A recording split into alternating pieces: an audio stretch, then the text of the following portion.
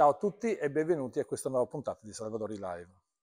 Oggi vi vorrei presentare una cornice forse anche molto Salvadori, una cornice elegante, una cornice raffinata, ehm, una cornice con un stile ehm, che si avvicina molto all'Art Deco, che è uno stile che a me piace moltissimo. Questa collezione si chiama Broadway, la troviamo in due finiture, finitura dorata a mano, oro e argento. La particolarità di questa finitura cos'è? Che appunto l'abbina molto al, all'Art Deco, è il fatto di avere la schiena nera, quindi troviamo questa combinazione tra doratura e schiena appunto nera opaca. Questa è una doratura, come dicevo prima, fatta a mano, a foglia, e ehm, poi il tutto viene cerato e viene lucidato sempre a mano. Quindi molto importante in questa, in questa collezione è la tonalità sia dell'oro, che è un oro molto, molto giallo, eh, un oro anche ehm, diciamo a metà strada tra quello che può essere un lucido e un oro, un oro scuro, quindi un oro appunto dal mio punto di vista molto elegante perché appunto non grida, e come vedete la finitura invece argento, si tratta di un argento caldo, un argento meccato, che eh, molti appunto lo chiamano anche champagne. A me piace anche chiamarlo ad esempio oro bianco.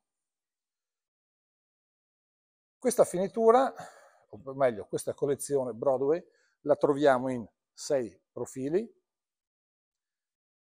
tre su una forma diciamo squadrata, Ecco, per questo dicevo che è anche una collezione eh, classica ma anche moderna, appunto dal, dal tipo di profilo.